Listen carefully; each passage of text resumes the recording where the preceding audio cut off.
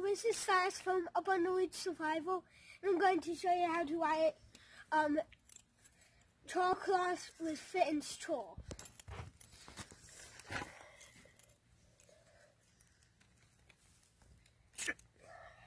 I need this off. Wait, flammable.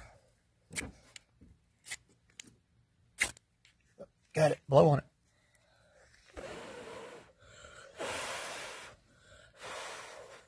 That's what and did. This is one nice spark on it. Yo, yeah.